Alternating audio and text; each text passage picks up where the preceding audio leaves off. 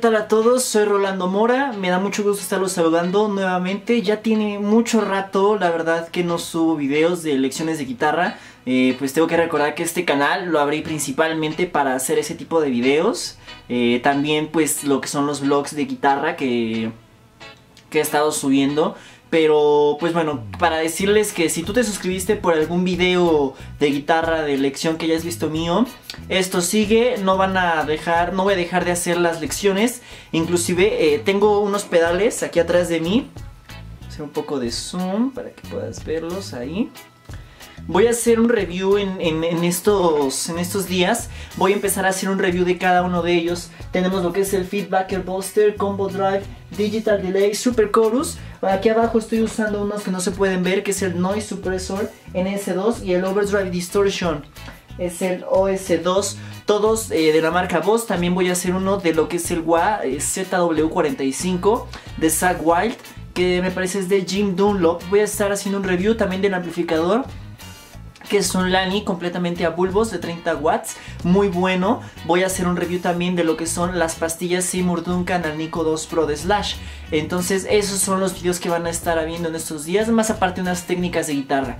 Sin más por el momento, empezamos con el video del día de hoy. Ya había hecho un video yo de armónicos de guitarra, eh, armónicos en la guitarra, pero quedaron algunas dudas. Entonces voy a irlos volviendo a sacar los videos para enseñar las técnicas una a una, porque enseñé tres tipos de tres tipos de armónicos. En este video vamos a ver nuevamente los videos de los armónicos naturales. Tal vez es primera vez que ves uno de mis videos. Te invito a que te suscribas y a que des like para que más personas le llegue este video. También si te suscribes te van a estar llegando los videos que yo esté subiendo a tu canal, a tu, perdón, sí, tanto a tu canal como a tu a tu correo te van a estar llegando cada vez que yo subo un nuevo video para que no te los pierdas y estés checando las técnicas que estoy subiendo o los reviews de, cualquier gear de, guitarra. Entonces, los armónicos naturales voy a tratar de explicarlo muy rápido y, y, también explicar cómo darle un sentido musical para que lo podamos implementar en nuestras canciones, ya sea en nuestras composiciones o interpretaciones. Entonces vamos a bajar un poco la cámara, pueden ver ahí Acá tengo lo que son los pedales que les comentaba, el overdrive y el noise suppressor. Eso es tema de otro video únicamente para que pues eh, sepan lo que viene. Los armónicos naturales, muy fácil, se pueden hacer tanto en la guitarra acústica como en la clásica. Perdón, como en la, en la acústica, sí, que es la, bueno, sí es la de cuerdas de metal, como en la clásica, que es la de cuerdas de nylon, como en la guitarra eléctrica. Eh, en la guitarra eléctrica si lo hacemos además con un poco de distorsión u overdrive, podemos tener una duración más larga de la nota y hacer cosas más interesantes. Sin embargo, también se pueden hacer sin ningún tipo de distorsión. Vamos, les voy a mostrar primero sin ningún tipo de saturación. Consiste en lo siguiente, únicamente ponemos el dedo rosa, una, cualquier cuerda en determinados trastes, donde donde el armónico ya existe. Esto es muy importante. Estos armónicos naturales, nosotros no decidimos dónde están. Simplemente están ahí a lo largo de la cuerda. Por ejemplo, en la primera cuerda, en, el, en lo que es el primer traste, no tenemos ni en el segundo, ni en el tercero. En el quinto ya sale uno. En el séptimo sí sale. En el, en el noveno también muere. En el duodécimo sale. Aquí como que en el traste 14 puede haber uno. En el 17. Y aquí podemos llegar a encontrar más fácilmente cuando tenemos una saturación. Entonces, muy fácil. ¿Cómo hago un armónico natural? Nos vamos a situar en la tercera cuerda vamos a checar un poco aquí el enfoque de la cámara. Lo único que voy a hacer es lo siguiente.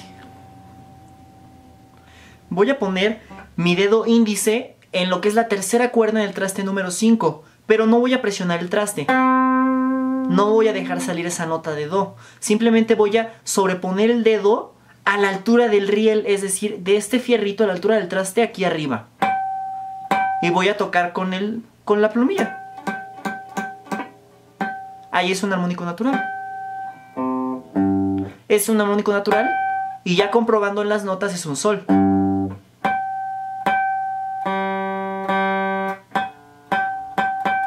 Ven, che chequen, si yo pongo mi dedo por esta altura en medio del traste, lo ahogo.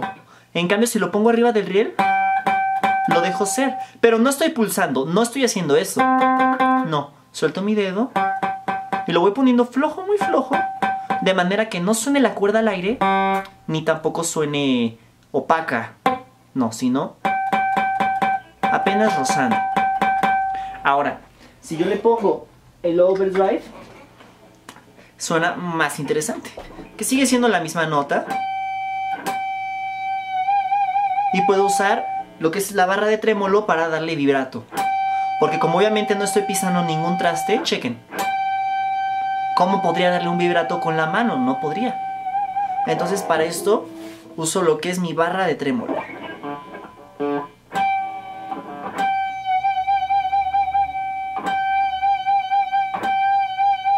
Entonces, este tipo de armónicos los podemos sacar tanto en guitarras eléctricas con o sin distorsión u overdrive, cualquier tipo de saturación que nos dé mucha ganancia. No es necesaria, no es indispensable. Y podemos también sacarlos en lo que son las guitarras acústicas o clásicas. Entonces, esto creo que ya quedó claro. Es, es lo, eso es todo, es la técnica del armónico natural. Yo me puedo ir desplazando a lo largo de la cuerda para comprobar dónde tengo armónicos. Aquí hay uno débil, pero hay. En todo lo que es el traste 4, en todas las cuerdas, suele haber un poco de armónicos. Igual en el traste quinto, definitivamente todas tienen. Sin error.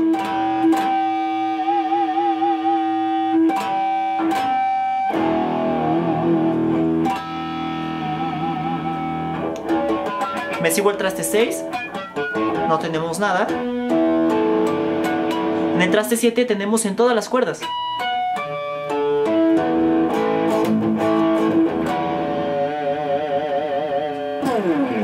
En el traste 8 me sigo. Están muy débiles. En el traste 9. Aquí sí tengo. Entonces hasta ahorita vemos que es muy seguro encontrar en el traste 4, en todas las cuerdas, en el traste 5, 7, 9, en el 11 no hay, en el, perdón, ni en el 10 ni en el 11 hay, y nuevamente en el 12 en todas.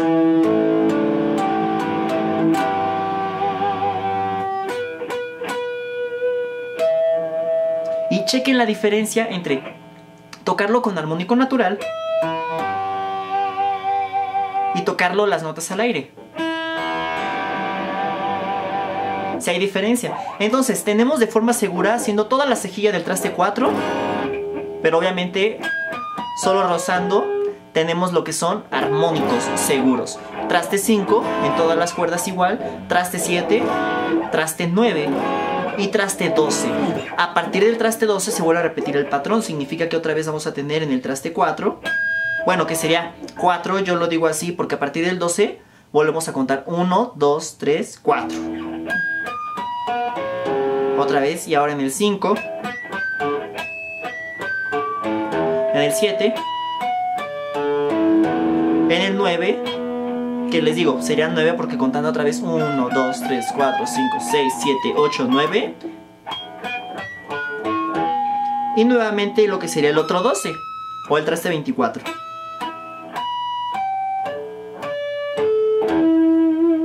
Ahora, el sentido musical que nosotros le podemos dar es muy interesante. Nosotros podemos usar, como les decía, la barra de trémolo esta es una barra de trémolo, no es una barra de Floyd Rose. Por lo tanto, no me levanta mucho. Oscila en un rango entre medio tono arriba y medio tono abajo de la nota. Entonces, entonces yo no podría hacer las grandes cosas como a los, a los Steve Bay que, con, con, su palanca, no es que él sea un super ¿cómo se puede decir? Que sus armónicos sean, uff, una maravilla. Es que su palanca de Floyd Rose le permite bajar, bajar dos tonos y en algunas guitarras hasta subir dos tonos. Dependiendo de, de, qué tan fina sea, de qué tan fino sea el puente de la guitarra y la guitarra en sí. Entonces recordando, si usamos nuestro trémolo, ya sea de nuestras guitarras tipo Strato o Stratocaster o PRS, cualquier guitarra que tenga trémolo, recordemos que hay que usarlo con moderación porque en cualquier cosa que lo usemos porque tiende a desafinar mucho lo que son las guitarras, a menos de que tengas los Tune Locker, no me acuerdo cómo se llaman, de las Stratocaster que que traen aquí como unos candados para otra pequeña microafinación. Pero bueno, ese no es el tema de este video.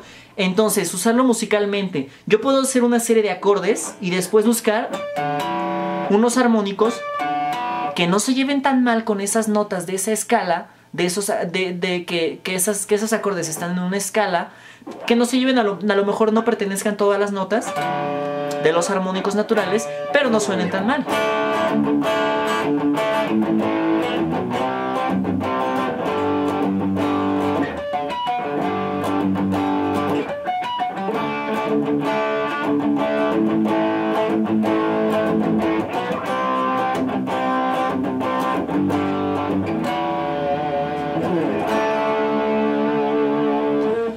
Cuando estamos metiendo un solo.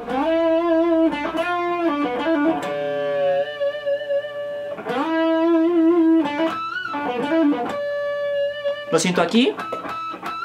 Ese fue un pinch harmonic hecho con el pulgar. No, no nos quiero confundir. Lo, lo, veremos en otro video. Voy a meter este armónico de, de la tercera cuerda en el traste número 7.